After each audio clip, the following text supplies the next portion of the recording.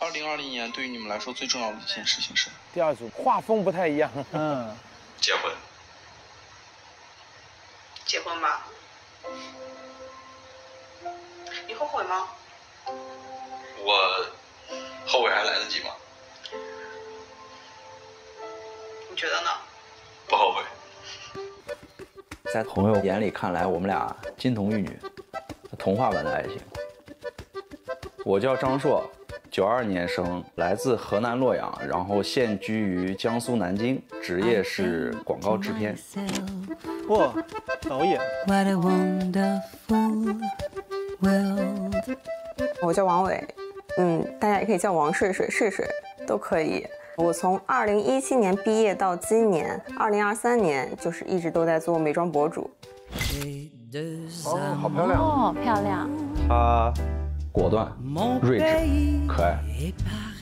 他是一个外向型的人格，然后呢，摇摆不定，比较喜欢尝试新鲜的事情吧。我们从校园走向婚纱，还是从高中校园走向大学校园，再走向婚纱？哇！我们上大学在一起。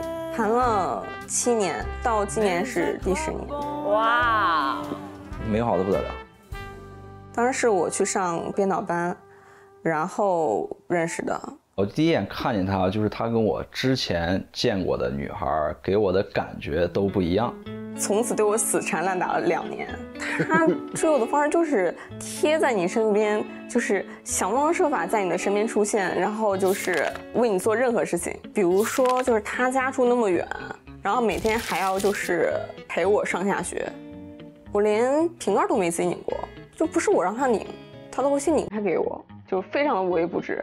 其实当时也不知道在一起的定义到底是什么，就是心里有这么一个人，没事就老想找他，然后跟他说要不要在一起试试。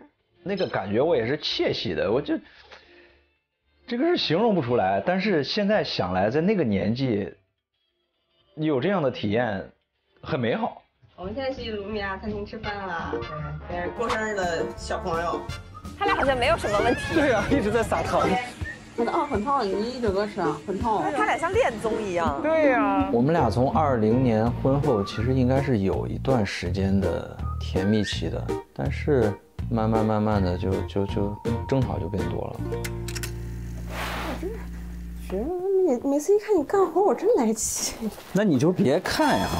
不是你在磨叽，我收不收拾了？这得收拾明。不是我我哪儿磨叽了？我问你。一起相处的就变少了，交流也变少了，我也不知道什么原因。我不太想主动跟他沟通，因为我觉得他脾气一点就着。后来，我觉得他原来不这样，就感觉怎么两个人结了婚之后反而越来越过不到一起去，感觉三观差距越来越大。所以幸福都是在结婚之前啊？对，我的那个观念里，我觉得家里好像就是应该。妈妈去把这个家收拾的好好的。我原本觉得，哎，女女的不应该是这样吗？就我们俩在一起生活以后不应该是这样吗？就非常的匪夷所思。我我不太理解他有时候在意的一些点。他可能想要一个保姆，死缠烂打两年找个保姆。我不是这种人。我还挺想跟他能一块做饭的，但是他说他不碰火，我也不知道，他自己都已经那么像火了，他为啥不碰火？这也是我。一直以来的一个遗憾，嗯，说根本是因为我觉得张硕这个人太不成熟了，我觉得他还没有成长为能够成为一个独当一面的一个家庭的一个男主人的一个身份。我现在其实搞不懂，他所谓的成熟到底是对他的包容程度，还是说，还是说什么？他喜欢喝大酒，喝到断片儿，一个礼拜七天，他能出去喝个六天酒。然后呢，就开始慢慢变成喝四天酒的原因，是因为他喝不动了，他上年纪了，他酒量没那么好了，并不是因为他不想喝酒，甚至于就算不喝酒，他也要去凑这个热闹，他去看别人喝酒，然后也要跟朋友在一个桌子上这样吹牛，说一些没有营养的话。就出去跟他们喝酒的一部分原因，就是我需要释放我的情绪。我身边的朋友，每个人带给我的情绪价值是不一样的。我不知道他的压力还来自于哪里，我也没有说去指望他去给我买东西，我也没有说指望他去干出一番什么多惊天动地的事业，都没有。而且没有喝酒的情况下，我就没见过他除还干过打游戏其他之外的事情。没长大，一打就是打到晚上一两点，就头发都熬秃了。你现在看他头有多秃，你就知道他熬的有多狠。全是打游戏打出来的，不是因为说是心里想着工作想出来的头秃，非常不卷。我就没见过，我就没见过像张硕这么不卷的九零后。啊。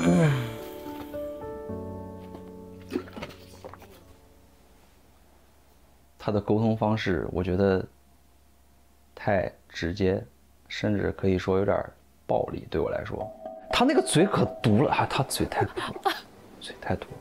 我原来还会，我在那儿见见，我跟他认错，啊，我在他旁边旁边旁边蹲蹲坐坐，我还错了，我错了错了，就在那耍贱。我现在我生气气呗。也确实是我承认啊，就是我在一些事情上，我对我对他的容忍度没有那么高了。现在如果说这事你惹我不高兴了，他说啊我错了错了我错了行吧，我会更加生气，我就会跟他吵到底，我我会吵到就是把我委屈加到他身上为止，我会报复回去。你比较有共情的是谁啊？宋老师。哦，我觉得于我来说，我比他更卑微吧。这么长时间，慢慢慢，一次一次，一次一次，都这样，我也不知道怎么劝，我也不知道怎么哄。每次他生气，都要等他自己消气，这个事儿才算完。我哄了没有用，所以我就尽量不让他生气，那就导致现在就尽量就少跟他沟通。而且看他越来越不顺眼了，我宁愿跟狗说话都不愿意理他，我也不知道为什么。他真的好毒啊！我觉得我跟他应该都蛮一致的，就是室友关系。啊，室友关系。你还开电脑干啥？这家里蛮乱的，好乱，蛮乱的。我说你还开电脑干嘛？我不看东西，吃点东西啊。你用电脑吃东西？我看看东西，吃东西。你东西收不收了？我把外卖先叫了吧。你不吃？我不吃。就是纯粹的室友关系，两个人在一个房间里啊，互不干涉，互不打扰啊，从一个门同进同出啊，这就是室友关系。那你还要怎么美化他呢？我们是已婚的状态，但是没夫妻之名。我们其实没有领证啊，我们是先办了仪式的。当时是有想过说是。嗯，后面跟张硕领证这这个事情的，但是就是在我婚礼上可能发生一些不好的事情，让我觉得对这个人有一点犹豫啊。所以第一次领证的时候，走到门口的时候，我跟他说我忘带照片了，第一次就没有领。然后第二次可能又是家里催他了，我又说没有带照片，他应该也知道是怎么回事吧？我觉得以他的智慧，他应该。就这种大事儿，他应该不会没带，他可能是心里有什么顾虑。什么事情啊？对，什么事情？但是，我也没问他。既然有这个顾虑，那我为什么要去逼他呢？或者逼问他呢？我觉得这件事情蛮严重的，让我非常匪夷所思。就是这个事情让我觉得，你这么没有底线吗？那我们还领这个证干嘛？我就觉得我这件事情我是对的，而且这是一个不管谁来看都是对的事情，就算把警察叫来也是我对的事情。为什么你不能有一个正常的、合理的解决方式呢？我真的是想不通，我现在还想不通。当时我会很疑惑，但是没有没有去追问。我是一个忘记这种事忘得比较快的人，可能有其他的事塞到我的脑子里，我这个事儿我就忘了。这是不负责的，不负，责任逃避嘛，鸵鸟心态。什么事儿啊？对，到底什么事？我感觉我们俩现在的婚姻像是在一个山坡上有一个玻璃建的房子，外表看起来很美观，但我不知道什么时候会它有塌的风险。可能就是比较遗憾，就是当时感情那么好，怎么会走到现在吧？而且我们两个人都是别人眼里的那种模范夫妻、模范情侣。对，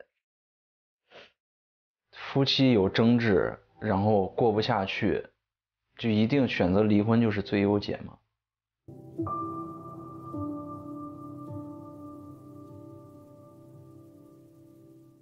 哇，哎呀，好奇怪，为什么会没有领证呢？但是一起在一起十年哎，他说因为婚礼上的一个事情，说不好的事情，好难猜哦，什么没有底线的事情？本来乱猜我会猜是前任闹场，可是他们说他们是校园情侣，又不太合理。可是一定是一个大事。但是很奇怪，就是一方说没有底线，说什么警察来了都是我占理，然后另外一方说这个事儿我已经忘了。不可能，他肯定没有忘，他就是逃避这个问题，他心里面耿耿于怀嘛。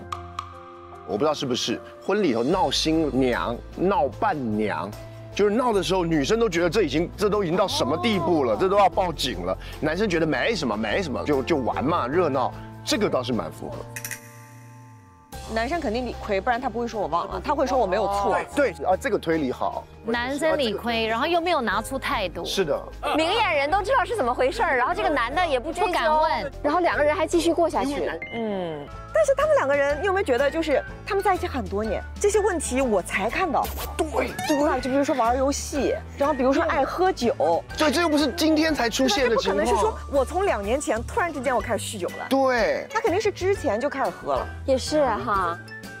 那我想分享一个我的经验，因为我对校园爱情可能也算有点发言权。我跟我老婆都是各自在大学里边，然后我觉得那段时间我们俩说的最常说的一句话就是说，等到以后，毕业以后就怎么样，工作以后就怎么样。但是校园的好处就是你有希望，嗯，你就总觉得说将来有一天你离开了这个地方，你未来是无可限量的，就是你有很多很多的想象。但是你一旦离开了，真的你离开了那个校园之后，就那个现实就是咣一下子撞过来，然后你就发现说啊，就这。哦，那一刻你才觉得说好像没有办法逃避了，你只能面对了。对，嗯，这个校园恋情的走入婚姻跟出了社会以后再走入婚姻的这个期待跟感觉是不一样吧？没有，他以前那个没时间，时间都在送他上下学，现在就不用送了嘛，就开始打游戏了。而且因为你会看到一个很大的落差。在校园里头拍电影，可能你是风云儿，然后你会觉得未来有无限展望，男生的眼睛都是亮的，然后出来以后发觉他每天在电脑前面点外卖，眼神都真的暗淡，你会非常的失落。嗯，然后还有一个可能性，那个差异是在于结婚。结婚这件事情好像某种意义上也代表着说我们的关系已经理所当然。对，真的有很多追你的时候恨不得天天跪在地上。然后等到追到你之后，就一下子感觉人好像就变，就感觉我得手之后，我就不需要再。男生为什么会这样子？黄老师，我我我我先解释一下，就是这种落差是一定会有的。我们去追女孩的时候，你一定是鼓起你百分之一百二十的力量，可是这种力量你不可能持续一辈子哦，不能持久。我会认为这种落差应该做一个适度的转型，让老婆感受到他用心工作的一面，让老婆感受到我希望能够为这个家付出尽责。那即便我不像婚前那么天天写情书，也不会受到这么大的斥责。嗯，那现在的麻烦就是婚前的没做到，婚后该做的也没做，才会有这个落差。对呀。我感觉 Melody 看进去了，就是你现在深度共情这个女生。没有，在想说这个女生也挺可怜的，就是被骗啦。因为那个男的死缠烂打两年追她，然后爱她，宝贝啊，你美呀，漂亮啊，带你去是被骗了呀，他都十年了，他十年都看不出来他是一个什么样子的。Melody 以前也会有这种落差感吗？当然有。婚姻前跟婚姻后当然不一样。婚姻当然最好的状态，我们都希望是还维持谈恋爱，然后一起好好的过日子。但是要做出来的时候，就是会有落差。以前男生追你的时候，你也是哦，很可爱啊，很温柔啊，然后讲话都细声小语啊。结了婚之后，就是用吼的来。我不是跟你讲话吗？你怎么都不回答我？你听不到吗？为什么这样？我用吼的，这样子好了。我觉得还是在男生身上，因为女生之前就算谈恋爱的话，也会吵架，也会吼。是。女生为什么会吼？那就是说明她没有在男方那儿得到她想要的回应，嗯，她才会越逼他越激烈。我觉得男生如果做好一点，女生也不会这么极端。但是他一周出去喝六天酒这个事情不能接受，就是不对。医生都不能接受这个事情，这个医生都不能。他会不会是在婚礼上喝大了？这也非常合逻辑，因为他也可能会说这个事情就对男人来讲好像不是什么大事。哦，所以他后来忘记了也很合理，因为断片了，其实是也有可能。这对很大的一个谜题还是婚礼上到底发生什么事，所以我们要再继续看下去，看看到底他们的矛盾是什么。